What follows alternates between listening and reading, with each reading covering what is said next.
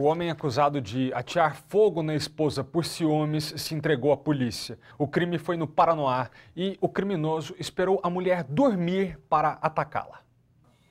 O seu José é vizinho do casal. Foi ele quem ajudou Regiane Gonçalves. A mulher de 41 anos bateu na porta do restaurador desesperada. Quando eu abri, mulher seminua, pegando fogo, cabelos no corpo. Ele ainda imobilizou o companheiro de Regiane, mas foi impossível segurar o homem por muito tempo e ajudar a vítima. A mulher ficou bastante ferida, principalmente da cintura para cima. Foi o seu José quem levou Regiane ao hospital. Foi uma cena muito difícil esquecer, né? O casal estava junto há aproximadamente um ano e se mudou para este endereço há dois meses. Vítima e agressor moravam numa kitnet aqui.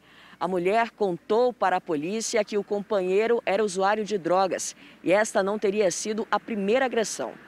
A vizinhança costumava escutar as brigas do casal.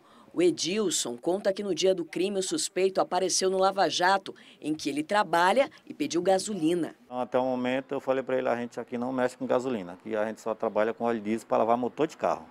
A tentativa de feminicídio teria sido motivada por ciúmes. O autor se apresentou junto com seu advogado e resolveu manifestar seu direito de ficar em silêncio, ou seja, não deu a sua versão, inclusive não assinou a sua versão acerca dos fatos e, como havia mandado de prisão contra o mesmo, foi preso e agora está à disposição do judiciário.